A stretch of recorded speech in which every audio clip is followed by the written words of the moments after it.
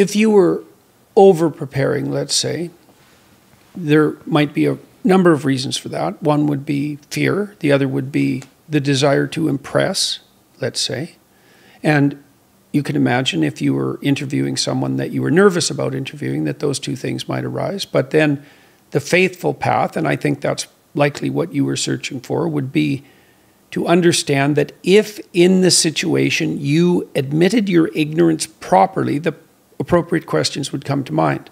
This is one of the things that you see with someone like Joe Rogan. It's one of the reasons I like to talk to Joe is because what Joe does, and this is partly why he's so popular, is that he just asks stupid questions, but they're real. Yep. Right. And so he's willing to admit his ignorance in the moment. If you're an interviewer and you're willing to admit your ignorance, you're never going to run out of questions. And then you don't have to. I mean, you, you want to prepare to some degree, right? Because you, you want to know who you're talking to. You want to be contextually aware. But I want to respect your time.